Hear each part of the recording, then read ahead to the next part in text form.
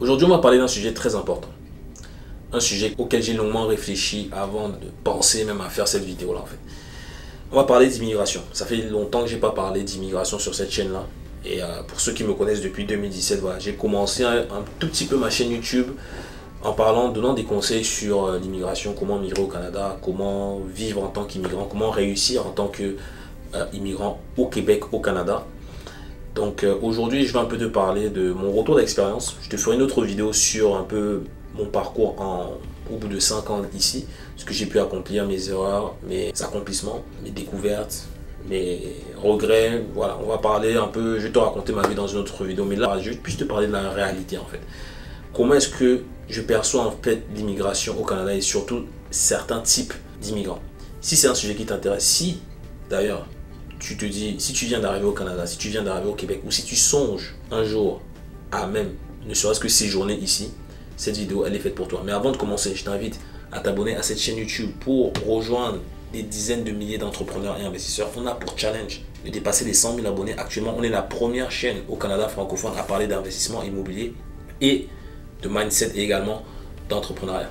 Donc dans cette vidéo, je me retrouve dans mes bureaux. Donc euh, je ne vais pas tarder à partir vers de nouvelles destinations. Donc je t'invite aussi à t'abonner à mon compte Instagram pour savoir ce qui se passe dans mon parcours d'entrepreneur et investisseur. Dans cette vidéo, on va parler justement de la réalité des immigrants au Canada. Donc, pour te faire un petit récapitulatif, c'est que moi, euh, je suis arrivé en 2016. Donc, je suis arrivé en 2016. Donc, euh, voilà. Je te ferai pas. Euh, voilà, je ne vais pas te raconter mon histoire. Si tu regardes cette vidéo, il y a de très fortes chances que tu me connaisses déjà?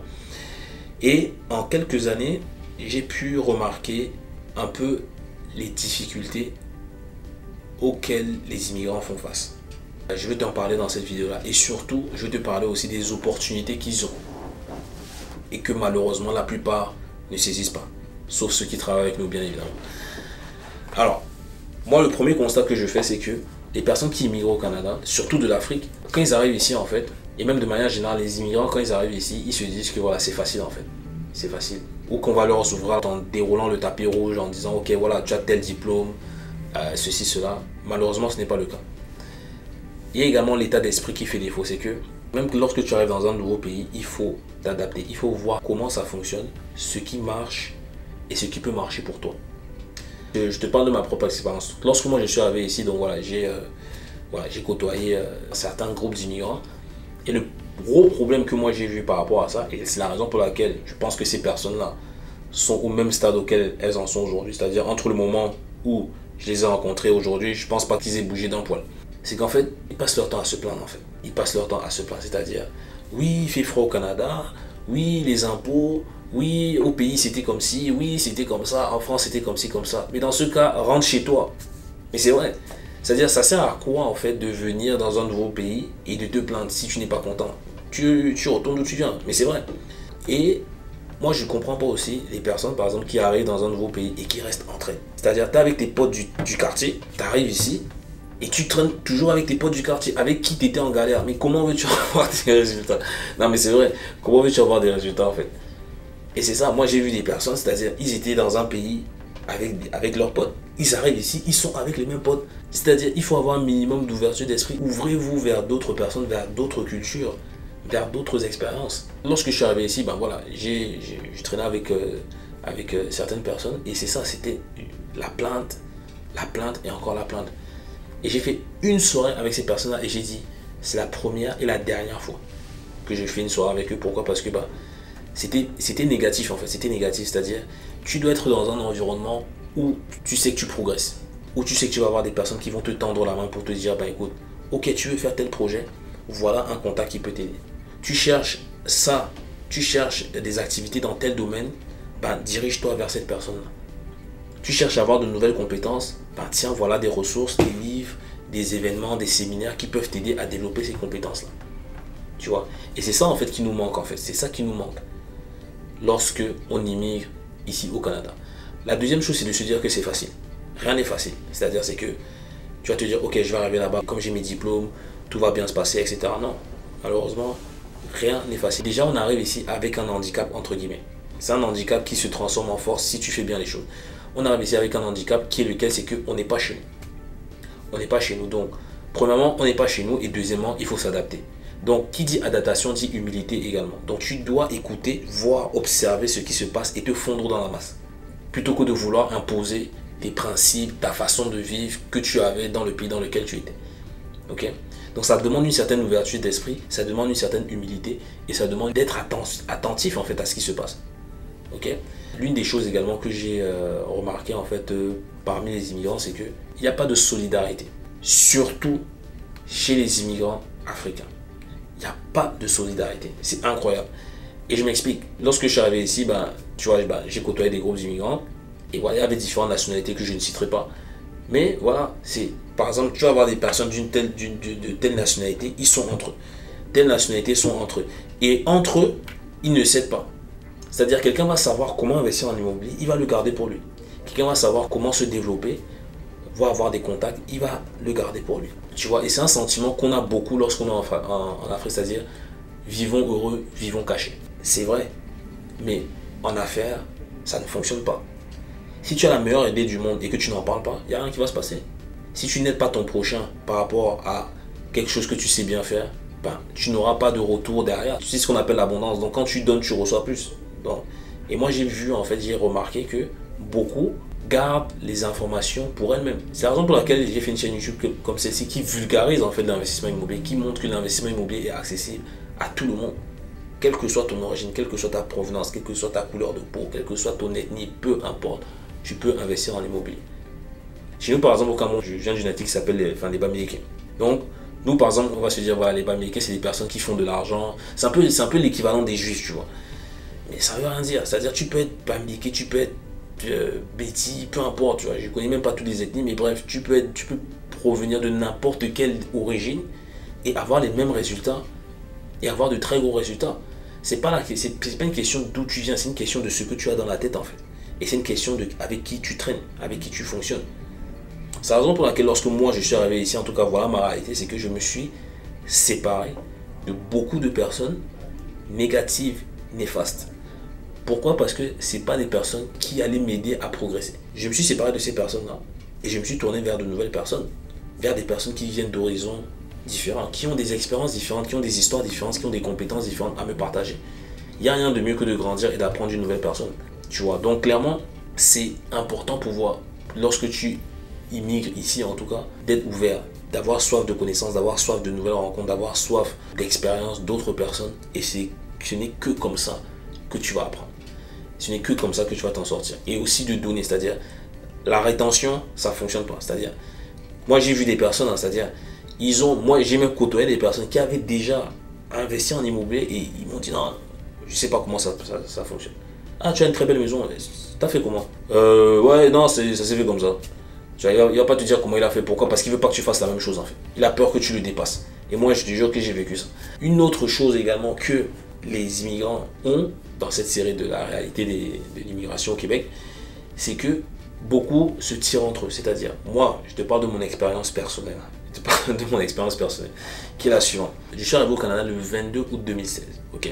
J'ai fait ma première vidéo YouTube le 10 septembre 2017. J'avais déjà investi en immobilier en France. Donc j'ai fait ma chaîne YouTube et je parlais d'immigration, d'immobilier. Je parlais un peu de tout. Après, je me suis vraiment focus sur l'immobilier. C'est six mois après mon arrivée que j'ai fait ma première acquisition et j'ai partagé ça sur les réseaux sociaux. Puis j'ai fait ma deuxième, puis j'ai fait ma troisième. Et là, je sais pas ce qui s'est passé. J'ai commencé à me faire insulter. Mais le pire, c'est que les personnes qui m'insultaient, c'est des personnes des fois que je connaissais ou des personnes de la même origine que moi. Et c'est des personnes qui m'insultaient en disant que c'est pas possible en fait. C'est pas possible que lui, il soit arrivé en si peu de temps, qu'il ait fait euh, des, quelques acquisitions en si peu de temps. Et tu sais l'argument que ces personnes me sortaient parce que j'avais un groupe là. Sûrement vous allez vous reconnaître vous là. Je vous vois. J'avais un groupe de personnes là. Je crois qu'ils étaient en Alberta. Et j'avais reçu un commentaire. Il me dit, moi ça faisait peut-être deux ans que j'étais là. J'avais déjà fait euh, peut-être 4-5 euh, acquisitions, tu vois. Il me dit, et c'est pas possible. Moi, je suis là depuis 10-15 ans. Je sais comment ça fonctionne ici. Ce que tu dis, c'est pas possible. Ce que tu as fait là, c'est pas possible de le faire. C'est ça qui me tue en fait. C'est-à-dire que rien n'est impossible. Je dis pourquoi rien n'est impossible C'est parce que s'il y a une personne qui a fait ce que tu as envie de faire, c'est que c'est possible. Et moi, c'est ce qui s'est passé dans mon cas, c'est que j'ai côtoyé quelqu'un qui l'a fait. Et d'ailleurs, c'était un jeune à l'époque. J'avais, moi, quand je suis arrivé, j'avais 26 ans. Il avait 22, 23 ans. Il avait déjà acheté deux immeubles. Il était immigrant comme moi. Et c'est lui qui m'a allumé en me disant, mais c'est possible. Donc je me suis pas dit, ah non, mais lui, c'est impossible qu'il l'ait fait. Je me suis dit, ah, bah, c'est pas mal. bah, moi j'aimerais faire la même chose. Donc j'ai eu l'humilité. En plus, il était plus jeune que moi. Donc je suis allé vers lui. Je me suis dit, mon gars, tu vas m'expliquer comment tu as fait. Bah, il m'a dit, ok, lis tel livre, va à tel événement, etc. Et c'est comme ça que ça a démarré. Et c'est ça qui est mauvais en fait, en tant qu'immigrant, en tout cas en tant qu'immigrant provenant d'Afrique. Les personnes vont te tirer dessus, en fait, ils vont te dire, c'est pas possible. Regarde juste les insultes. Sûrement, si tu me vois sur YouTube, là, tu as déjà vu voir mes publicités sur Facebook, etc. Regarde juste les insultes sous les, publicités. Tu vas rire. Et moi, je trouve ça dommage. Je trouve ça dommage parce que aujourd'hui, j'ai créé un groupe. J'ai créé un groupe d'investisseurs. Ceux qui ont travaillé avec moi savent ce qu'on est capable de faire. J'ai créé un groupe où c'est multiculturel. Que tu sois blanc, noir, jaune, peu importe, que tu sois, que tu proviens de n'importe où, c'est multiculturel et on avance ensemble en fait. C'est ça que moi j'aimerais voir davantage c'est-à-dire un groupe de personnes qui s'entraident. C'est un groupe d'investisseurs que j'ai créé et qu'on a accompagné depuis plusieurs années à faire leurs premières acquisitions. Donc on leur a rendu ce qui était impossible pour eux possible. Pourquoi? Parce qu'ils ont cru. C'est des personnes qui m'ont vu sur Internet, tout comme toi tu me vois aujourd'hui sur Internet, et qui se sont dit, à contrario des personnes qui se sont dit, non mais lui c'est un menteur, lui c'est pas possible, lui euh, c'est un vendeur de rêves, etc. Peut-être au début ils ne me croyaient pas, mais ils ont eu cette ouverture d'esprit d'être curieux. Donc c'est des personnes qui ont fait leur devoir comme on dit. Donc ils ont dû voir une publicité de moi, ils se sont dit, lui parle d'immobilier et l'immobilier, c'est pas moi qui l'ai inventé. Hein. Ce que je dis dans mes vidéos, c'est des principes qui fonctionnent, qui ont fonctionné et qui vont toujours fonctionner. Donc ils se sont dit, bah lui, ce qu'il dit, ça fait du sens. Et au fond de moi, ça m'intéresse. Pourquoi? Parce que j'aimerais aussi investir en immobilier. S'il a fait, bah, je me renseigner sur lui. Donc c'est des personnes qui ont regardé mes vidéos, qui ont fait des recherches sur moi, tu peux faire des recherches sur moi, qui ont vu les résultats d'autres personnes autres que moi parce que oui, il n'y a pas que moi qui ai des résultats, il y a des personnes qu'on accompagne qui ont de très très gros résultats. Et ils sont passés à l'action. Enfin, en tout cas, ils nous ont rejoints, ils sont passés à l'action. Tout simplement, tu vois. Et ça, je te parle de ça. C'est un groupe de personnes. On a accompagné des milliers de personnes en ligne. Oui, plus de 6000 personnes en ligne, mais des personnes qu'on a coachées, qu'on a accompagnées sur le terrain, ça doit être 100, 200 maximum. Tu vois, donc c'est rien par rapport à toutes les personnes qui a en francophonie ou au Canada francophone ou à moindre mesure au Québec. C'est pour te dire quoi C'est qu'il y a encore des personnes qui sont braquées dans leur tête qui se disent que bah, c'est pas possible. C'est pas possible d'être immigrant et de réussir. C'est pas possible d'être immigrant d'investir en immobilier. Et tu vois, et ces personnes vont plutôt écouter leurs amis qui sont là depuis 10-20 ans, qui racontent le même bullshit, excuse-moi l'expression, mais c'est le même bullshit depuis 10-20 ans et qui n'ont pas bougé d'un poil. Mais quand ils vont voir quelqu'un comme moi, ou même des personnes plus jeunes que nous, débarquer, retourner la baraque, avoir des résultats. Ils vont dire que c'est pas possible.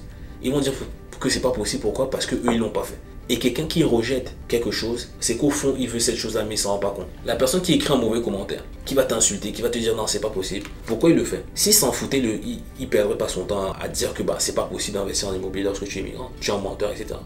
Quelqu'un qui s'en fout, bah, il s'en fout. En fait, quelqu'un qui s'en fout te regarde même pas en fait. il va voir ça, il va dire ah bah moi je continue, bah, voilà, merci, chacun fait sa route. Quelqu'un qui soi-disant s'en fout, qui va prendre le temps de t'écrire un pavé pour t'expliquer qu'il est arrivé là depuis 20 ans et que le ciel est monté et descendu, pour remettre en question ce que tu es en train de dire, c'est parce qu'au fond, la personne veut cette chose-là. C'est humain. J'invente pas. Le cerveau humain fonctionne de cette manière. Genre, t'as jamais vu un truc dans la rue ou un concept, tu dis ça c'est pas possible ça c'est ça de l'arnaque, etc. Alors qu'au fond, peut-être tu aimerais avoir cette chose-là. Quelqu'un demain qui va te dire c'est possible de faire 1000 dollars de cash flow. Qui n'aimerait pas faire 1000 dollars de cash flow Dis-moi, toi tu n'aimerais pas faire 1000 dollars de cash flow Je pense que si.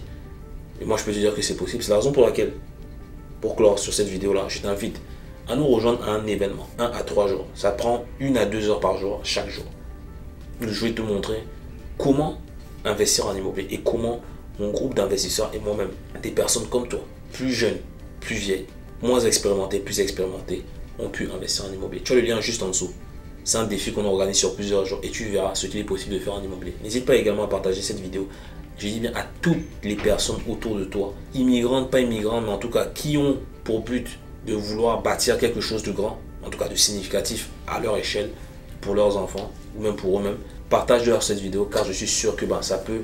C'est des fois il suffit d'une parole ou d'une rencontre pour donner un tout autre tournant à ce que tu avais prévu de faire dans ta vie. Donc franchement, rejoins le mouvement, tu as le lien juste en dessous, c'est totalement offert. Et bien évidemment, à la fin de cet événement, tu auras une offre pour travailler avec nous et ça me fera un plaisir de t'accompagner. C'était Florent de Global Investisseur. Je te souhaite tout le meilleur pour ta réussite. À très bientôt.